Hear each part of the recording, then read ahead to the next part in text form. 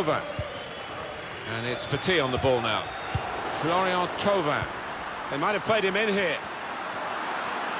Shot on! That's a corner. Well, this crowd's been starved of excitement, starved of action.